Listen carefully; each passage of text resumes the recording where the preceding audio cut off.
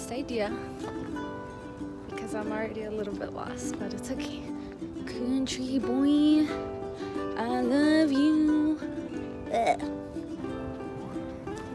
Okay, so I found my way back to the school. You can see it right there. This is a fun little adventure.